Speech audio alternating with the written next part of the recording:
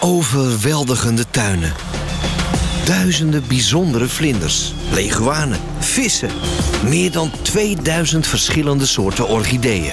Ontdek nu ook de wonderenwereld van het tropisch regenwoud en al haar producten. Van chocoladereep tot terrasstoel. Echt alles komt uit de tropen.